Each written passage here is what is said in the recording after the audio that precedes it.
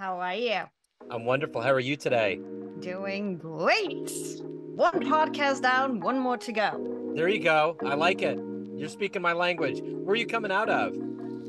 Right now, San Diego. Oh, man. I love San Diego. I was just talking to someone from there a minute ago. I, I took a trip from, uh, well, I'm in Kansas City. We went to a wedding in Pine, Colorado. Where in like- Kansas? In, I'm in Kansas City, Missouri. Kansas City.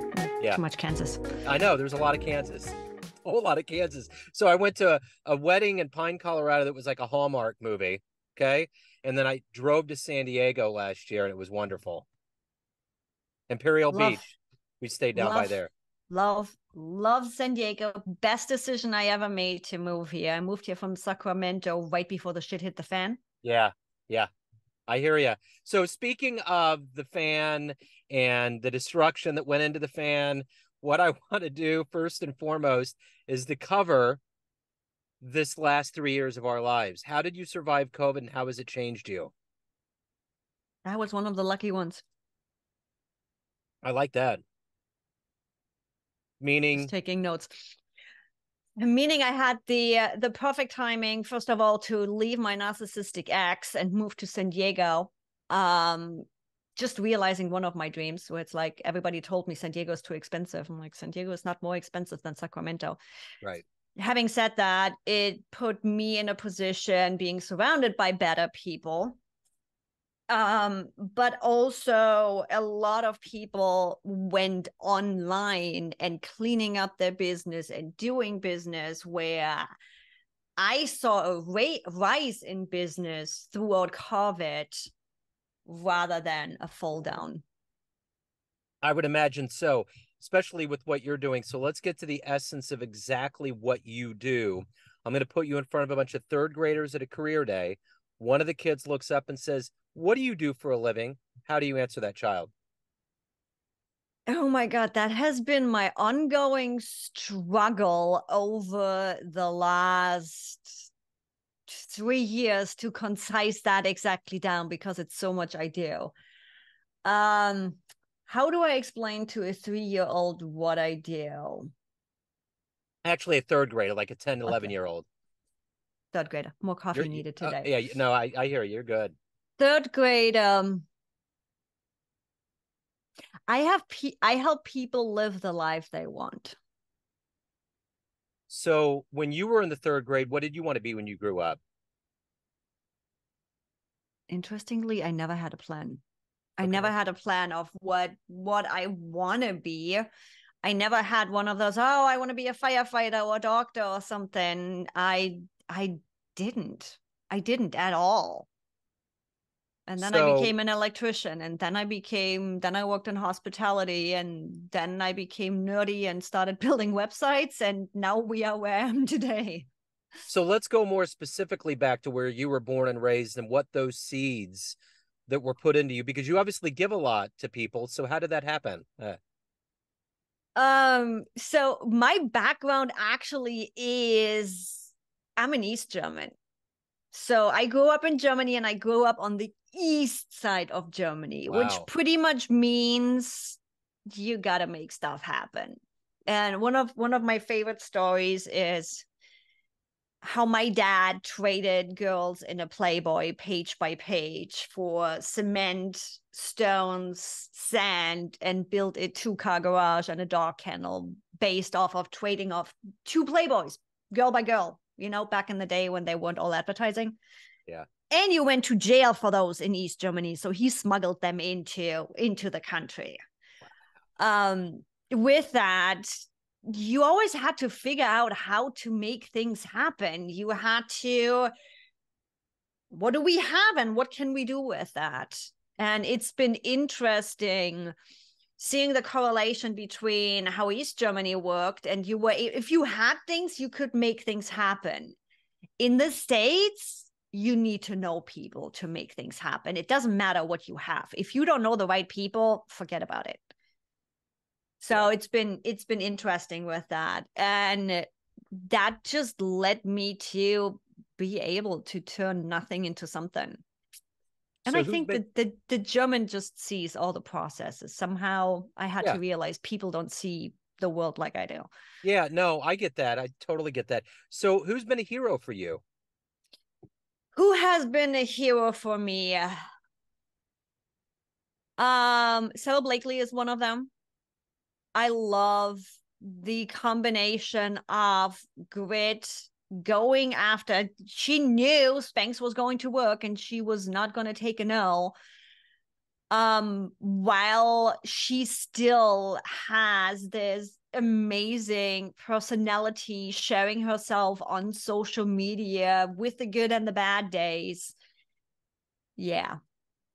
So, if you can meet anybody alive on the planet right now and spend some time with them, who would it be? Ooh, now we are getting political. Obama. Uh, good. Yeah. Having been in office and having gone through, and it's, I don't care what political side people are on, but that man has faced so much opposition in that position. I'm like, I get why you are turning gray, but how do you not take that personal? Yeah. At some point, at some point, wouldn't you? And if, how did you manage that? I'm like, I just want to pick his brain. Yeah, he's amazing. So, talk to me a little bit about what your motivation is daily. What's the gas in your tank? What gets you up in the morning? What makes you accomplish and be who you are? Hmm. That goes back a few years. Um, I lost my husband to cancer in 2014, and with that, pretty much anything, and I had to start over at zero. Um, we didn't own the house. There was no savings. There was no life insurance. No nothing. So I literally started at zero after taking care of him for two years. And what drives me is if I even can just save one person from having to start over like that, my job here is done. And that's pretty much what I do in my business, where systems, processes, and value alignment gets the CEO, gets the entrepreneur to a point where you can step away. You still can make income without you having to be in your business 24 7 and i hope nobody has to experience something like that and you actually can take the time to go on a vacation and simply just live the life you want right now and not wait for retirement to do that. But that is just my life experience that is like damn i put my life on hold for 2 years. I literally had barely any business left. I don't ever want somebody to have to make the decision between paying the bills and a loved one my best friend he's the godfather of my son he lost his wife to cancer and they actually had a really good life insurance policy which has been kind of a saving grace yeah. for for his family so there's so many things that go into that um so of all of the things that you've lived through and been through in your life all of these business uh, ventures what's been the best success story you've been a part of hmm. Um, one of my favorite client stories is Lil' Luna. They are one of the original recipe blogs. And we all know content creation and especially recipe blogs, there's a lot that goes into it, right? You need to test the recipes, you need to take the picture of it and the video and the writing and all the things.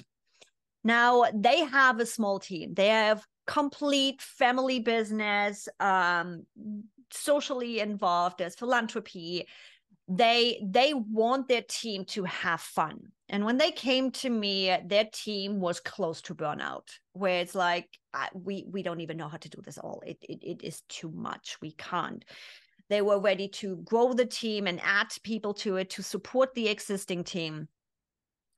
And after we were done working with each other i asked lo the husband for for testimonial just literally right we should do that. I'm starting to get used to actually ask for testimonials.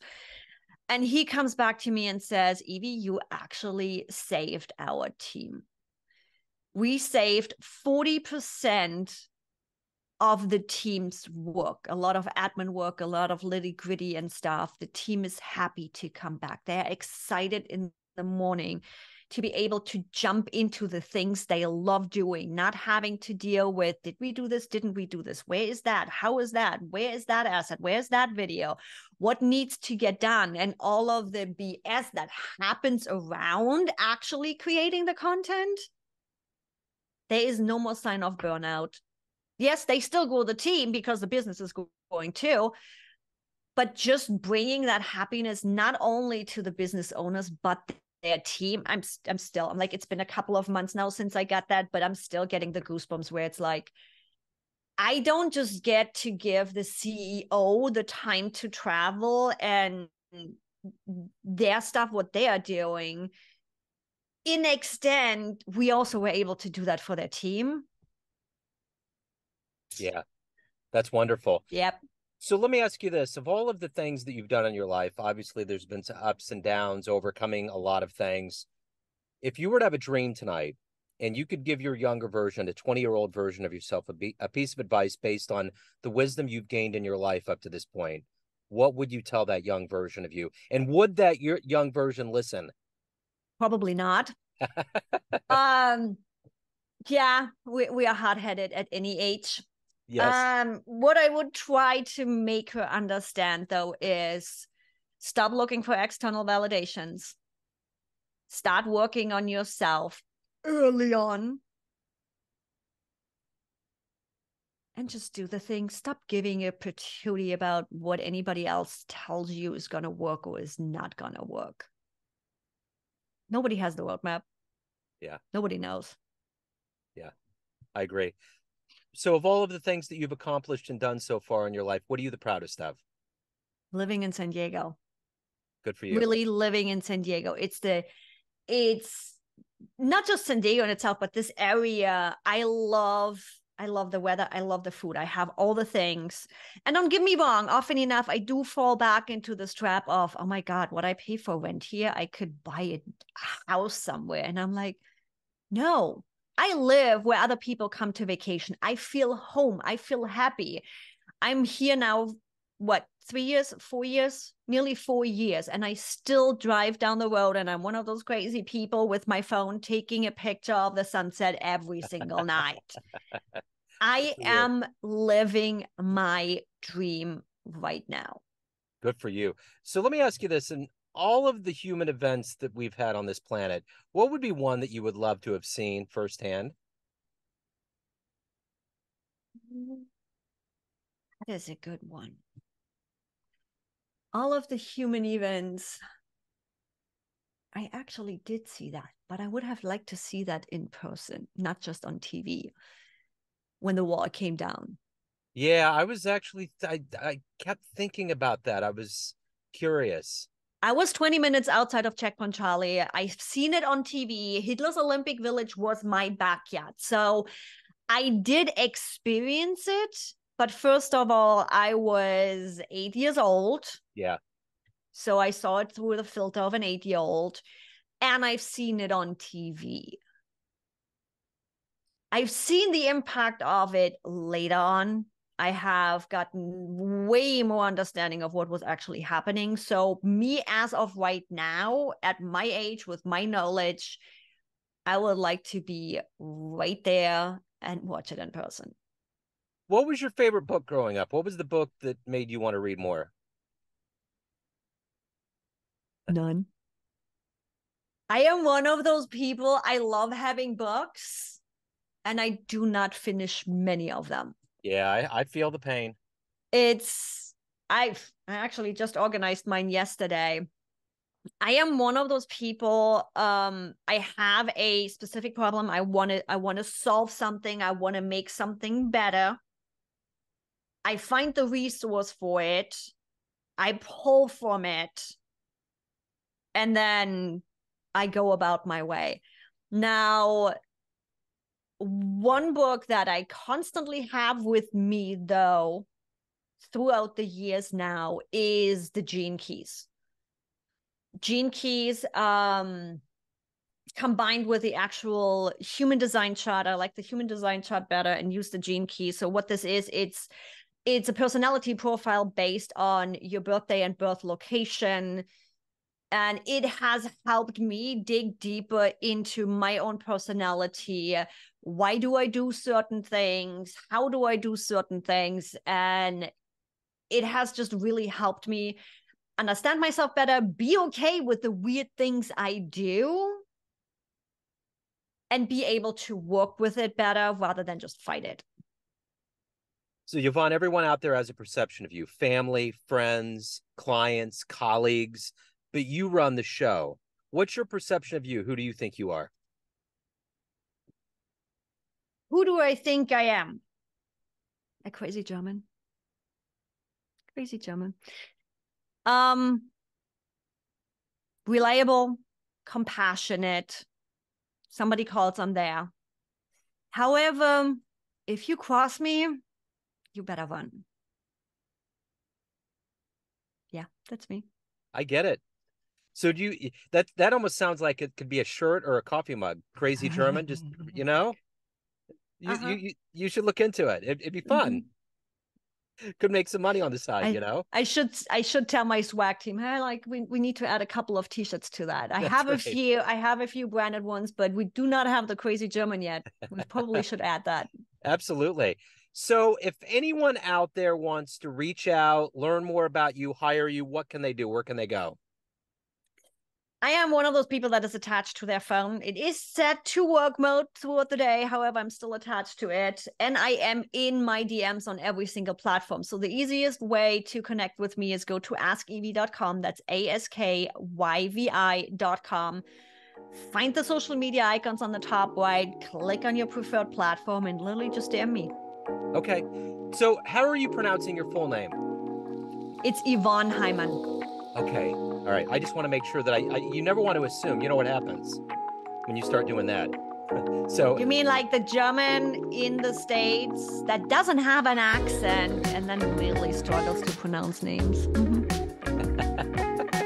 Hey, I love your story. It's so good, and you know, my I'm gonna have my stepdaughter listen to this. Her whole dream is to get to San Diego. So, your your, your zeal for for being there and your reasoning and all of that's huge. But what you've overcome and what you've done, it's, it's, it's wonderful. So thank you for your story. Thanks for opening up. Best of luck with everything. Thanks so much. And thanks for having me. Thank you. Take care. Bye.